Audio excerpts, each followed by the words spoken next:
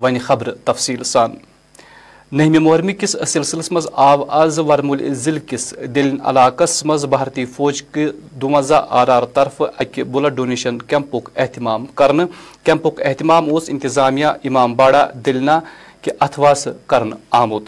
या दौरान अल पल रजाकारो पन्ने खून अति ये पेश कोर। अत पे D C Baramulla doctor Syed Sehrish Asghar मेहमान खास। आज दिल्ला में जो है एक मेजर इवेंट ऑर्गेनाइज किया जा रहा है रिगार्डिंग मुहर्रम जिसमें इनका एक प्रोसेशन भी साढ़े तीन बजे निकलेगा। तो एक स्पेशल ब्लड कैंप जो है 52 two R R along with district administration यहाँ पे ऑर्गेनाइज किया है। अभी तक 25 लोगों ने ब्लड डोनेशन कर ली है और ये पूरे दिन ये कैंप चलता रहेगा। इससे जो हमारे यजादार हैं और जो आएँगे यहाँ पर इस पूरे इवेंट के लिए, उनको भी जो है वो सहूलियत मिलेगी। प्लस ये ब्लड डोनेशन कैंप से एक एक पॉजिटिव मैसेज भी जाता है कि हर कम्युनिटी के जो लोग हैं, वो इसमें बढ़ चढ़ कर हिस्सा ले रहे हैं और वो कंसर्न है regarding this festive this Muharram.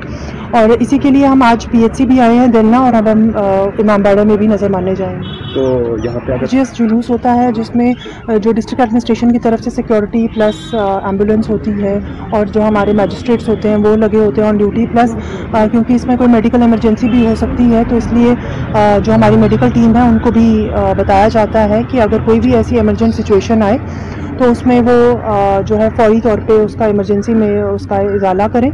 इसके साथ साथ जो हमारा जो नॉर्मल रूटीन रहता है बाकी बिजली पानी बालन वगैरह वो तो हम कर ही रहे हैं। जब ये जुलूस देखिए इसमें ये ट्रैफ़िक और पुलिस की डोमेन है। मुझे नहीं लगता कि किसी भी तरीके से लोगों को इसमें प्रॉब्लम फेस होगी। पूरा जो है प्रॉपर इसमें अरेंजमेंट्स की हुई हैं और ऑल्टरनेटिव रूट्स भी हैं।